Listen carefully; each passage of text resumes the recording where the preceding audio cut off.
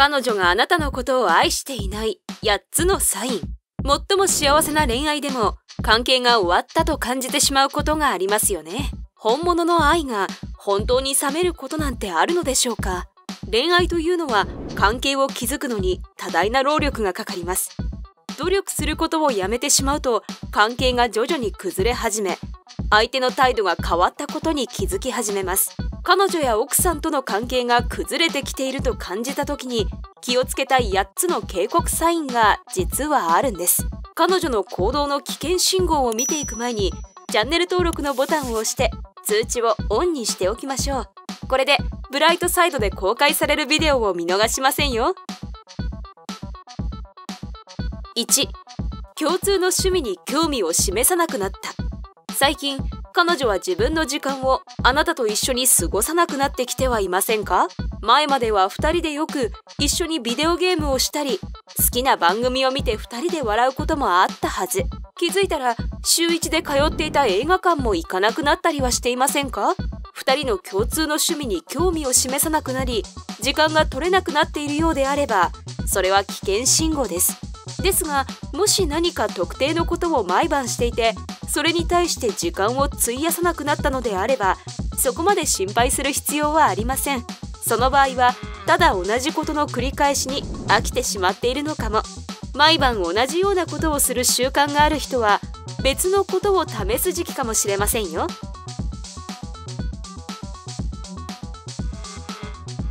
2冗談を言っても笑わなくなった。彼女や奥さんは今まであなたの言う冗談に笑い面白い話も好きだったはず。彼女から見たあなたはとても面白く彼女の笑顔によって自信がついていたなんてこともあるはず。最近はあなたが冗談を言ってもあまり笑わず時には完全に無視するなんてことはありませんか？そんな時は何が変わったのかと自分に聞いてみましょう。もしこのような警告サインがあっても他の部分でうまくいっているようであればそこまで考え込む必要はないかもしれません。もしかしたら疲れやストレス。また仕事の悩みがあってあなたの冗談に付き合っていられないだけなのかもしれません。でもあなたの冗談に笑わない上他の警告サインがあるようであればもしかしたらあなたとの関係に何かしらの不満を持ってる可能性があります。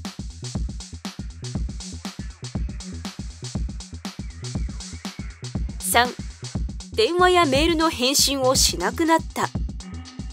恋人が忙しくもないのに電話を取らなかったりメールの返信をしないようであれば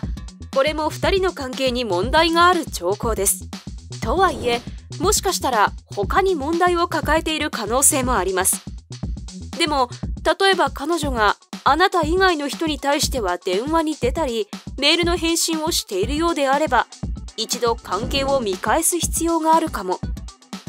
もちろんメールの返信が明らかに冷たかったり返信が異常に遅いようであればこれも気をつけるべき警告サインです。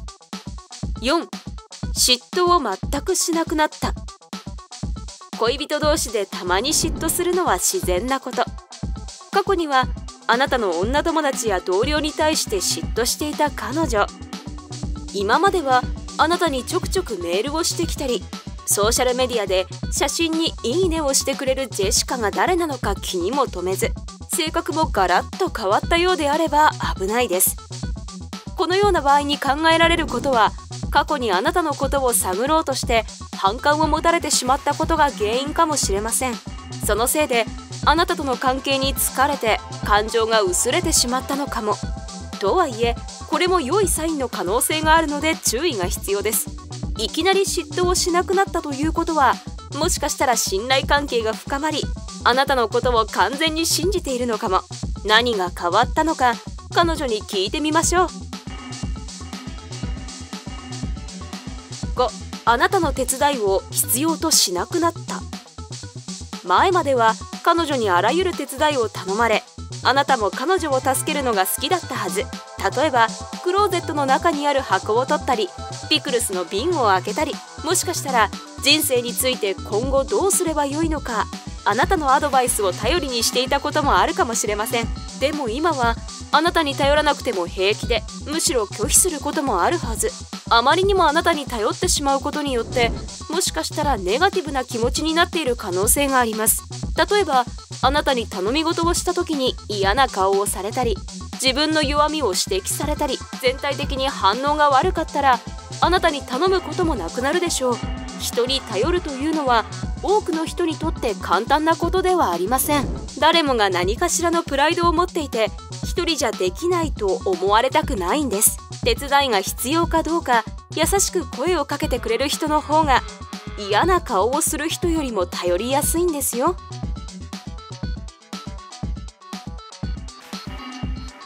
6一日の話をしなくなった。彼女は今までは自分の人生で起こっていること全てについて話してくれたはず。仕事や同僚友達どのような一日を過ごしたのか心配事についても話してくれていたんじゃないでしょうか。もし彼女があなたとのコミュニケーションを拒否していて質問をそらしたり心配そうな顔をしているのに話をしないようであれば何かがおかしいという意味です。もしかしたら彼女は純粋に話したくないと思っている可能性もあります。そのような日も時にはあるのでこれは自然なこと。でももし2人の関係について不満を持っているようであればいくつかの原因が考えられます。あなたに話をしてもちゃんと耳を傾けてもらえない。話を聞く時間を作ってもらえない。と思っているのかもしれません。彼女の話をどれだけ聞いてあげているのか。彼女の一日についてどれだけ耳を傾けているのか考えてみてください。そこに問題があるかもしれません。7あなたがどのように過ごしているのか気にしなくなった。あなたが過ごす1秒1秒について彼女はいつも聞いてきたはず。でも今は全くない状態。忙しいスケジュールの中であなたのために時間を割いて会う時間を作ったりしてくれていたのに今ではバタバタな毎日。以前はいつ友達と会うかいつ家に来るかなどをお互いのために調整していたのに今ではあなたが一日中外出していても気づいてもらえていないのではないかと思ったりすることありませんか？恋をしていればほとんど毎日一緒に過ごすことを好むはず。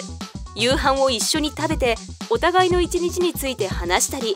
外に出ている時どこにいるのかも把握し合っていますよね。時にはただ単に忙しいからこそこのような状況に陥ってしまうことがあります。でも仕事の量が変わっていないのに態度が変わってしまったようであればもっと注意をする必要がありますよ。8あなたと今後の計画を立てなくなった。誰かと信頼し合った関係にあると今後の計画を一緒に立てるのは自然なことですよね。愛し合っているカップルが何か計画を立てるときお互いのことをしっかり考えます。例えば簡単なものだと夕食をどこに食べに行くか旅行先をどこにするかもしくは明日の予定を決めることもありますよね。近い未来のことではなく将来何人の子供を産みたいのかどこで家を買うのかもしくは引っ越しの話をすることもあるかもしれません。もし奥さんや彼女が計画した今日明日明日以降にあなたが含まれていないようであればこれはあなたとの将来を考えていないという大きな警告サインです。この場合はこれからの2人の関係について話す必要があります。あなたは人生において変化や成長を求めず保守的な生活を送っていますか？